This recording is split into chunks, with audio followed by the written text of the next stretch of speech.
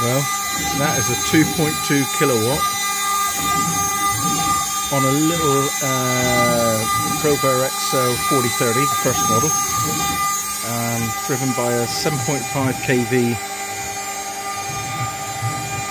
VFD, uh, 400 hertz, so it's screaming, it's going flat out.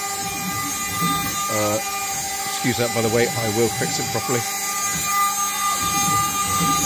But it's blinding through and also it's not getting super hot. You saw in the previous part of this vid it absolutely munching munching out of the uh, the rough cut. So oh watch this a little longer.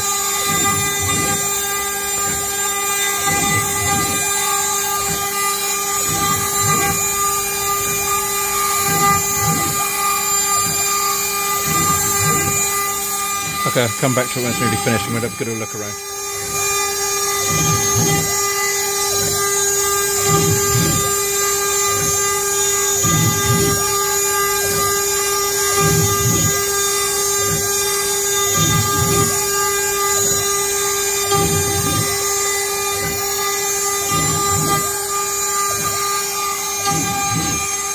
Okay, so it's a crappy little bit of pine. In fact, it's a bit of skirting board, but uh, uh, well, I think it's doing a pretty good job.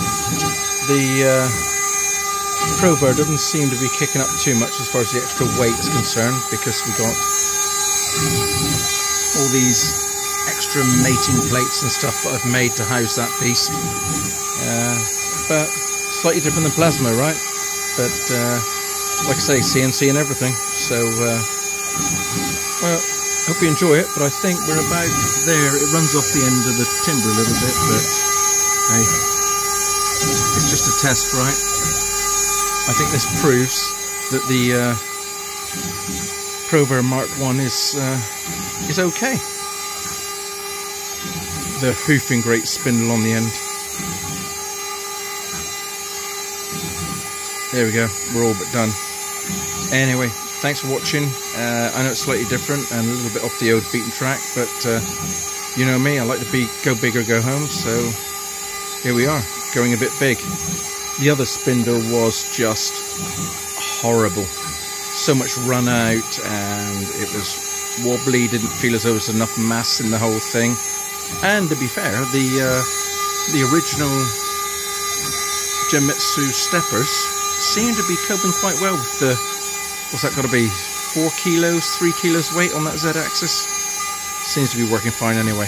So there you go. Um, as always, please like and subscribe.